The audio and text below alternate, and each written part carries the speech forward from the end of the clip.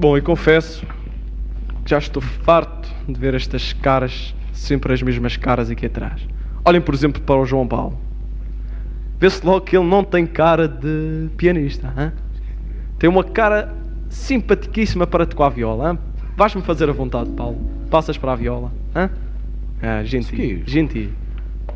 Cinco minutos de mando e eu é que faço a disposição. A disposição ideal, segundo o meu ponto de vista. Exatamente, e o Rui todo coradinho. Coradinho passa para a viola vermelha, exatamente. Quem presta? Coradinho, puxa coradinha. Ele, se não tocar, é barraca, não interessa. Vamos embora.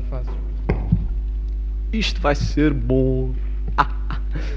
Ah, tu, olha, já que estás aí, passas para esta do Carlos Alberto. Não interessa que o senhor saiba ou não. O senhor pega nisso e o que der, deu.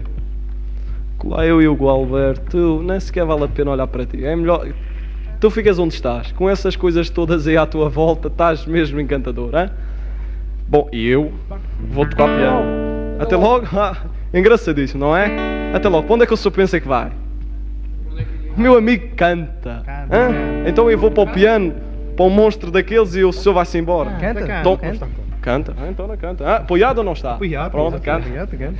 Sabes tu que me foste arranjar, hã?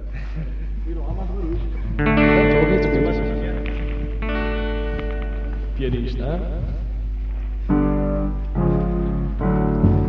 As I ride this leather, send my love to you. Remember that I always feel you. Treasure these few ones till we're together. Keep on.